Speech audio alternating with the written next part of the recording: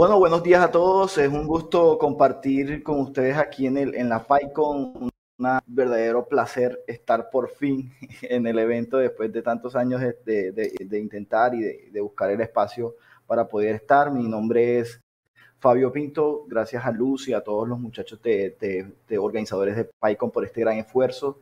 Eh, y bueno, vengo a compartirles un poco acerca de visualización de datos eh, cuando los datos se vuelven arte, una introducción no solamente a la visualización de datos como tal, sino al entendimiento de cómo toca eh, comprender los datos brutos desde la fuente para poder convertirlos en información valiosa para los usuarios, dado que pues toca entender los contextos y demás. Voy a hablar un poco acerca de las librerías de Python que hay y vamos a ver algún, algún ejemplo aplicado a este tema, así que espero que les guste no solamente la charla, sino el ejemplo que vamos a hacer, para la cual es obligatorio que se sepan los 151 Pokémon por lo menos de la primera generación.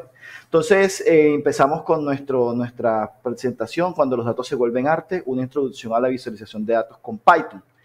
Existen miles maneras de representar la información. Una de las, de las formas de representar la información, pues la provee la estadística descriptiva, que es esta herramienta que tenemos para explorar los datos a través de eh, las, las abstracciones que son las tablas y los gráficos estadísticos que son variables, que tienen diferentes características y que cada uno nos va a servir para un una labor específica o para transmitir una información específica a nuestro cliente o a nuestro usuario o a la persona para la que cual estamos eh, haciendo la visualización que podemos ser nosotros mismos, dado que en el data science existe una, una tarea específica que es el análisis exploratorio de datos, donde eh, utilizamos las gráficas y las tablas para poder analizar los datos.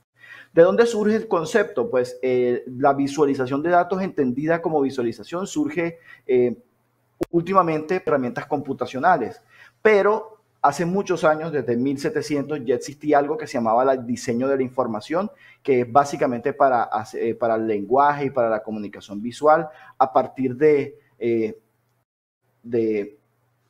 autores como Minard, que en una, sola, en una sola gráfica como esta, que es la marcha napoleónica, logró, logró representar eh, la, latitud y longitud, temperatura, distancia, eh, de personas, dirección y pudo pues plantear esta visualización que es una de las más hermosas y es la que más me gusta, es la marcha napoleónica que representa esa marcha de Napoleón. Ya todos conocen la historia en la que eh, estuvo diezmado y pudimos y podemos ver en esta gráfica cómo se encaminó todo ese ejército hasta Moscú y como la ida, que es el rojo, y la vuelta, el ancho de la línea es el, la cantidad del ejército, ahí se representa todo y es una gráfica preciosa.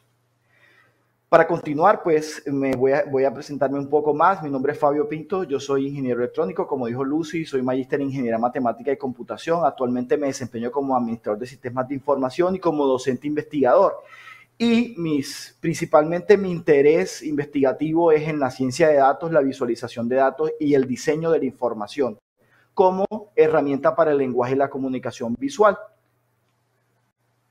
Vamos a ver un poco de la introducción a la, a la visualización de datos, vamos a ver algunos de los procesos que conlleva la abstracción del dato para poder convertirlo en información y en conocimiento para el cliente Vamos a ver algunos tipos de gráficos, cuál es el gráfico correcto que voy a utilizar. Vamos a ver cuáles son las librerías y cuáles son las, algunas de las herramientas que podemos utilizar para hacer visualización de datos con Python. Vamos a ver nuestro ejemplo aplicado a un, un, ejercicio especial de, con Pokémon y vamos a ver algunas de las formas cómo podemos continuar en este mundo de la visualización de datos.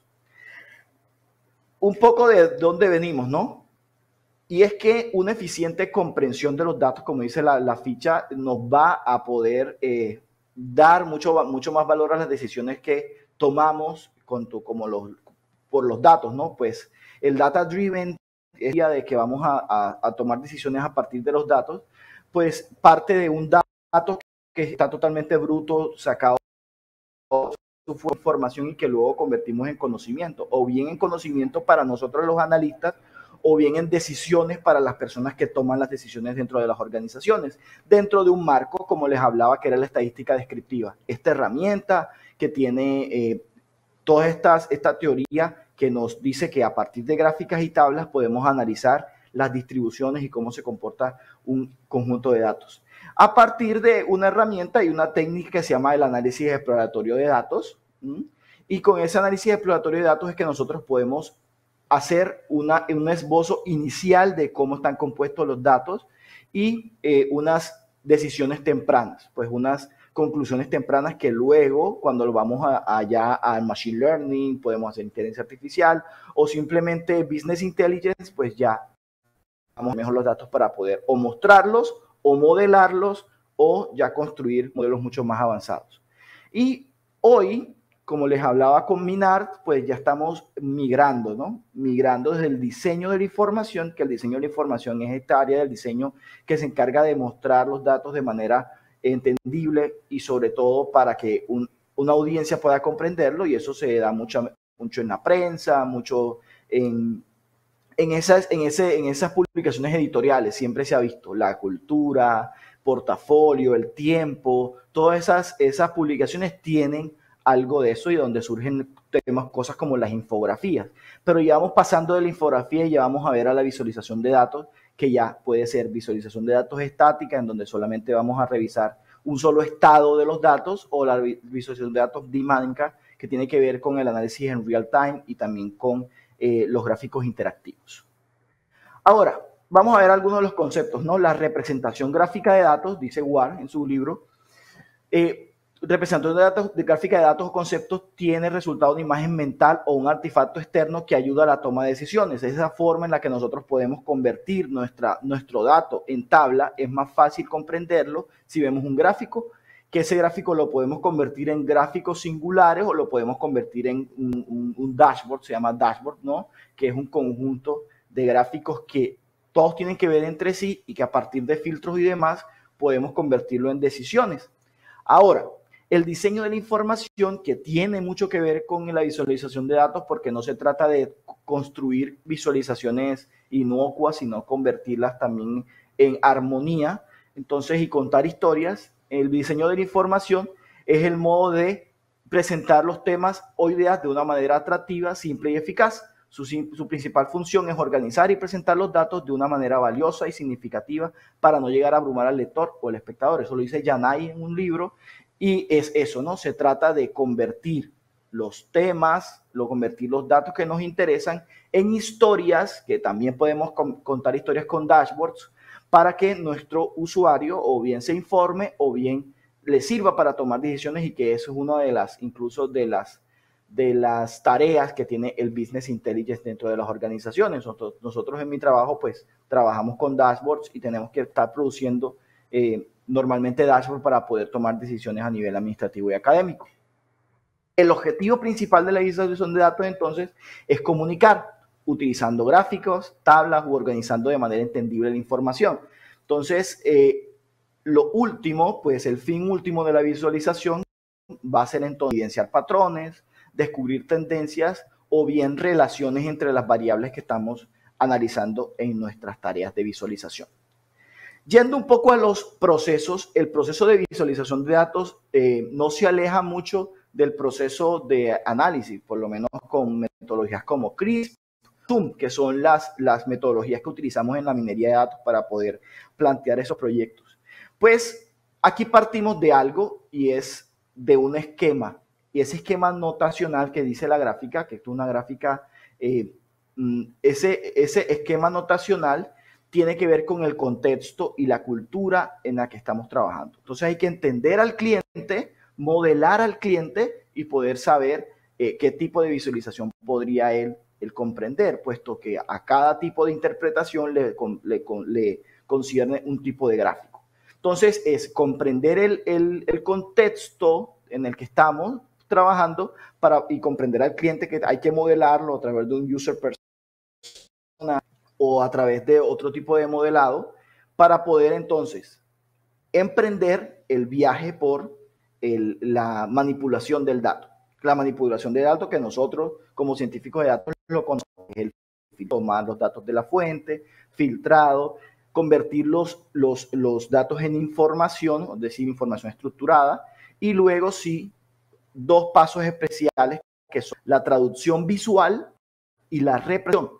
Traducción visual que sería convertir nuestra información en una serie de variables que nosotros en, semiótica y en diseño llamamos eh, alfabetos visuales, en donde a partir de diferentes de representación visual vamos a representar las variables en cuestión. Ahora, para visualizar la información debemos partir de comprender los datos, como estamos hablando, y el contexto para luego sí representar una estructura visual que favorezca la producción de insight para el negocio. En este caso, dependiendo del contexto en el que estemos, si estamos diseñando un dashboard comercial, vamos a representar información en la prensa o simplemente vamos a hacer diseño para análisis exploratorio de datos, sabemos que tenemos que utilizar la gráfica correcta para poder analizar bien los datos. Y es donde surge pregunta de cuál, qué es lo que yo quiero transmitir para poder escoger cuál es el gráfico correcto para poder transmitir lo que necesito. Entonces ya podemos analizar diferentes tipos de gráficos que van a tener que ver con la, distribución, la composición de los datos, las relaciones o las comparaciones. Más adelante vamos a revisar en detalle este tipo de gráficos para qué nos sirve cada uno, pero eh, es un esbozo de lo que nos vamos a preguntar. ¿Cuál es la pregunta? Porque si tenemos el usuario, al usuario lo comprendemos, sabemos los datos, entonces a partir del contexto, el usuario y los datos, las fuentes que tenemos, pregunta que queremos, que queremos responder. ¿Qué pregunta queremos responder? Y eso nos va a guiar a través del proceso de visualización. Y estamos hablando entonces de la traducción visual. Nos venimos de la traducción visual y vemos con tipos de gráficos, que es lo que ya vemos acá. El segundo componente de la traducción visual es los elementos gráficos, que son los elementos que acompañan nuestra gráfica, es decir, los títulos, los ejes, las unidades de medidas, los títulos de los ejes horizontales y verticales, los títulos y los subtítulos, todo esto. Incluso si existen grillas, si existe eh, grid, si existen varios gráficos en, una sola, en un solo plot, tenemos que analizarlo para poder comprender mejor lo que queremos transmitir. Y además, la tercera parte de la traducción visual es el alfabeto, como les decía. Y el alfabeto visual en semiótica significa que es, es el conjunto de unidades básicas que forman un gráfico. Entonces, esas unidades gráficas eh, las vamos a representar con un tipo de variabilidad visual, es decir, el posicionamiento, pues sabemos que a través de nuestro, nuestro, nuestras coordenadas, el tamaño, podemos darle una variable, la forma, la opacidad, el color, la textura, la orientación, el grosor de la línea. Sabemos que con estos elementos visuales podemos sumarle más valor, darle más características a nuestro gráfico, de tal manera de que nos pueda de que nos pueda eh, evidenciar mucha más información y brindarnos mucha más información a través de enriquecer el gráfico. Entonces, ¿cuál es el gráfico correcto? Depende la tarea. Entonces, si vamos a comparar, ya sabemos que existen diferentes tipos de gráficos, como el gráfico de barras, el gráfico de barras apiladas, el gráfico de intensidades que se llama heat map, también lo conocemos, el gráfico múltiple, el gráfico de barras, el gráfico de radar, que es este gráfico súper chévere que veíamos en PES y en FIFA, y el gráfico de marcas. Si queremos evaluar tendencias, pues ya sabemos que lo mejor para las tendencias y las series de tiempo son las líneas. Entonces tenemos el gráfico de líneas y podemos tener también otro que se llama el gráfico de pendiente, pero el gráfico de pendiente es para comparar un periodo con otro, para poder evaluar la variabilidad de una, de una cantidad entre un periodo y otro, o entre una situación u otra. En las proporciones, es decir, cuánto ocupa un, un, una variable dentro de un todo, es decir, gráfico de sectores, que es el, típico para las encuestas, el mapa de árbol, que es cuando nos, no solamente tenemos ese, esos pocos elementos, sino que tenemos muchos elementos, y el pictograma. Y para las distribuciones están los dos gráficos favoritos de los, los, los científicos de datos para, hacer, para poder hacer eh, análisis exploratorio de datos mi, mi, favorito de todos es el diagrama de caja y bigotes por toda la, la información que otorga, que no solamente es la media y la mediana, sino también los cuartiles, las distribuciones, los mínimos y los máximos y los outliers, y el histograma, que es el clásico para poder evidenciar las distribuciones, posibles curtosis o posibles eh, asimetrías que existen en nuestras gráficas. Y las correlaciones, es muy utilizado el gráfico de dispersión, ya sabemos para la regresión múltiple, regresión lineal, y el gráfico de burbujas, ya que también se utiliza mucho para poder comparar no solamente eh, la, la, dispersión o las correlaciones que existen, sino también las relaciones entre las variables, lo vamos a utilizar en nuestro ejemplo. Y obviamente los gráficos de, mapas, los gráficos de mapas que pueden ser gráficos de mapas rellenados, que son las de coropletas, o también los gráficos con eh, símbolos proporcionales, que entonces ya es cuando en una misma distribución vamos a poder evaluar eh, específicamente un gráfico en específico. Cuando vamos a trabajar entonces con Python, hay diferentes tipos de eh, librerías. Hay algunas librerías nos van a servir para poder trabajar con, eh, con gráficos estáticos como Matplotlib o como Bokeh, como Seaborn, y también podemos trabajar con gráficos dinámicos como Plotly pero últimamente se está, está poniendo muy de moda y es una librería que me gusta mucho, Dash, que es como para hacer dashboards, y sé que confío que con este, este nuevo, esta nueva realidad donde tenemos PyScript y todo eso que va a ir e, evolucionando, vamos a poder tener unas, unas formas mejores de poder incrustar gráficos dentro del navegador y sé que eso va a ir avanzando. Ahora, vamos a nuestro ejemplo para poder avanzar. Nuestro ejemplo eh, surge pregunta, ¿cómo podemos escoger el mejor equipo Pokémon? Ese equipo Pokémon, pues vamos a tener a nuestro cliente, nuestro cliente, nuestro usuario, que es el para el que vamos a ayudar a tomar la decisión, se llama PyCon. PyCon es un maestro Pokémon y necesita armar el mejor equipo para poder disputar el torneo. Nos busca para que le ayudemos a analizar los datos de los Pokémon para recomendarle un equipo de manera objetiva con las siguientes consideraciones. Ser de tipos diferentes, no puede eh, tener Pokémon legendario, el equipo debe tener al menos un Pokémon inicial y además súmele, súmele las generaciones. En Pokémon actualmente hay 7 generaciones, 801 Pokémon y vamos a tener de tantos de esos Pokémon analizarlos para poder tomar una decisión eh, positiva para nuestro amigo Plotly, nuestro amigo Pycon, perdón. Entonces, ¿Dónde vamos a iniciar? Pues vamos a tener los datos. Los datos son, ya tenemos la pregunta, sabemos para quién vamos a diseñar o para quién vamos a analizar los datos y ahí vamos a analizar ahora los datos. Los datos los obtenemos de eh, la data de todos los Pokémon, son 800, más o menos 810 mil eh, registros y tienen los tipos y los stats de todos los Pokémon. Esos datos eh, son, yo lo saqué de Cago, que es esta, esta página donde se hacen retos, y tengo. Voy a utilizar para el ejercicio Matplotlib por cuestiones de tiempo, eh, pero voy a publicar este mismo eh, notebook, lo voy a publicar con Plotly para poder analizar también gráficos interactivos con este mismo ejemplo. Listo, entonces lo inicial es evidenciar cuál es nuestra población de datos. Los registros entonces van a ser 801 Pokémon de 7 generaciones y vamos a tener 17, 17 columnas que van a tener los stats, que van a tener los tipos, que van a tener si es inicial o no y si es legendario o no. Vamos a revisar entonces la cantidad de Pokémon y Pokémon por fuente, es decir, por, por Pokémon fuerte por generación.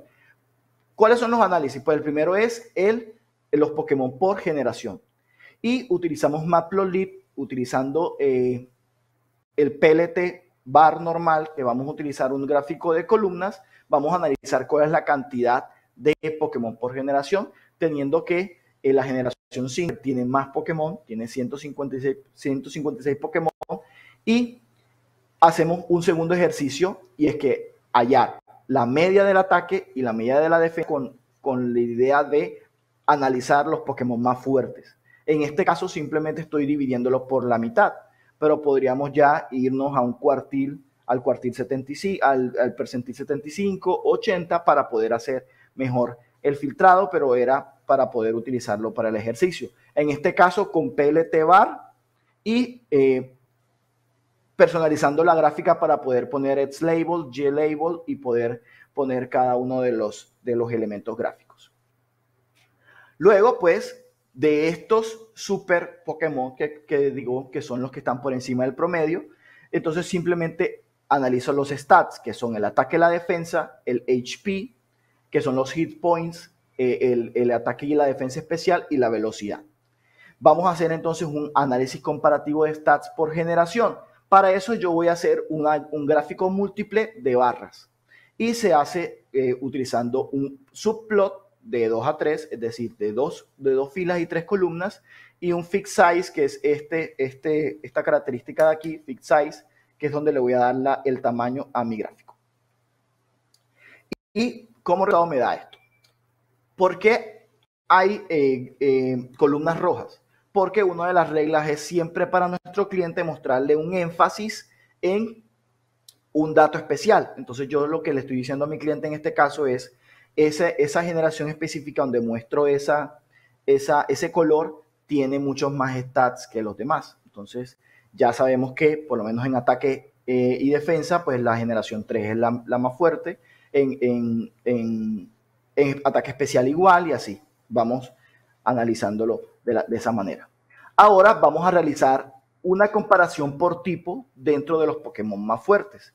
Es decir, cuál es el, dentro de los Pokémon más fuertes, el, la mayor cantidad de tipo, de, el, tipo que más cantidad de Pokémon tiene y es el Pokémon, los Pokémon de agua.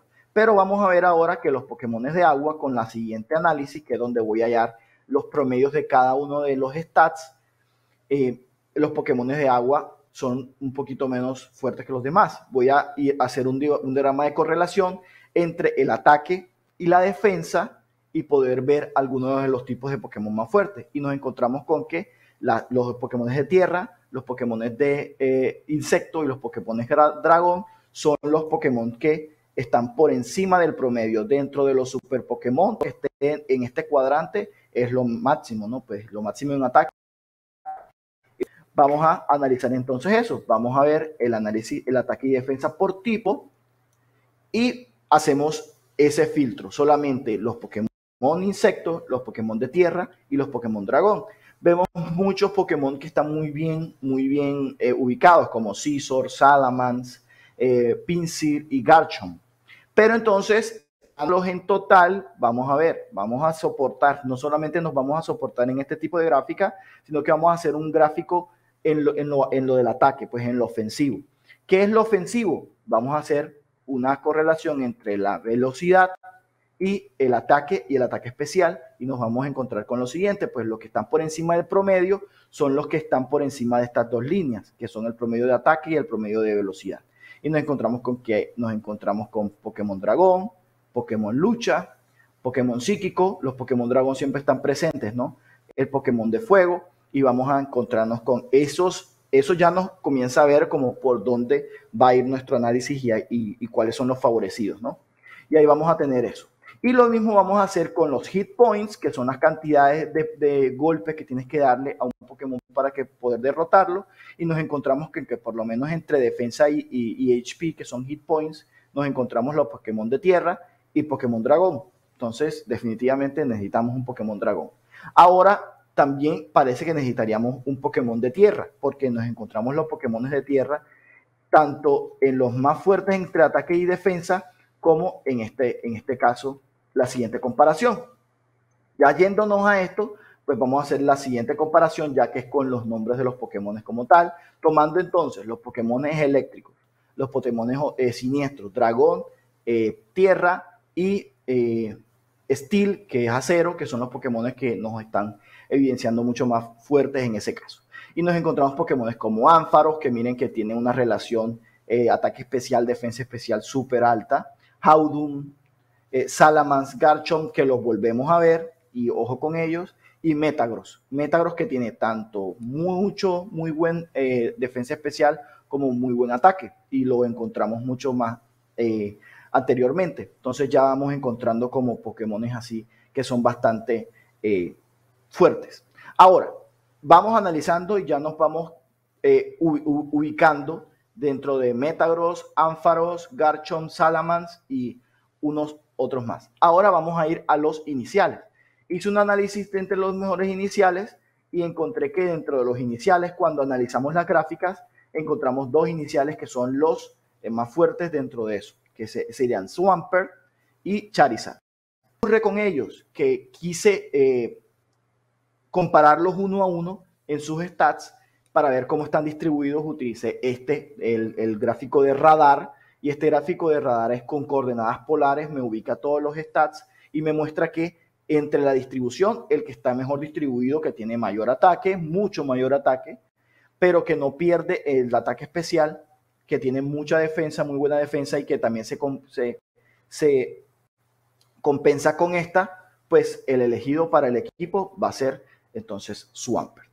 Y vamos entonces ya a entregarle nuestro informe a nuestro cliente. Le vamos a decir, pues venga, Ánfaros lo vamos a ir a nuestro equipo porque tiene mucho mejor balance en ataque especial, defensa especial y es de tipo eléctrico. Generación 2. Salamans es un buen balance general en todos, ya lo encontramos, tipo dragón. Metagross tiene buen balance entre eh, Special Attack y Special Defense, es tipo acero, generación 3. Hydreigon, que es buen balance entre ataque especial y, defensa especial, es de tipo eh, siniestro. Tianitar, que tiene un buen balance entre ataque y defensa, que es de la generación 2, tipo roca, y Swamper, que es el mejor inicial entre los tres. Y listo, le entregamos nuestro, nuestra recomendación a nuestro cliente y sabemos que se va a ir muy feliz. Ahora, ¿cómo vamos a continuar? Y yo les recomiendo este super libro de Nussbaumer que se llama Historytelling con datos. Y además hay un proyecto muy bonito que es una página en donde se comparten cada, cada día eh, visualizaciones nuevas y con formas de hacer que sea Project, que es este, esta página que ven aquí, en donde van a tener una biblioteca inmensa de gráficos. Y obviamente guiarnos por siempre revisar nuevas librerías y todas las todo lo que contiene una librería, y por eso puse aquí como la captura del chit de Matplotlib, pero igual lo pueden buscar de Bokeh, de Seaborn y de todos. Eh, espero que les haya gustado esta, esta charla breve. Eh, voy a subir todos los notebooks a, mi GitHub para que los vean y puedan, puedan explorarlos y todo. Estoy muy abierto a preguntas. De nuevo, agradeciéndole mucho a la comunidad de Python a nivel nacional que ha apoyado este evento, a los patrocinadores y a los, a los chicos de la organización por permitirme compartirles mis conocimientos en este espacio. Esa es mi página donde pueden revisar mi portafolio, pueden revisar algunas de las cosas que he hecho, otras charlas que he dictado en algunas de las comunidades de Python en Colombia y en diferentes eventos académicos, sino abierto a conocer a gente interesante de la comunidad. Muchas gracias.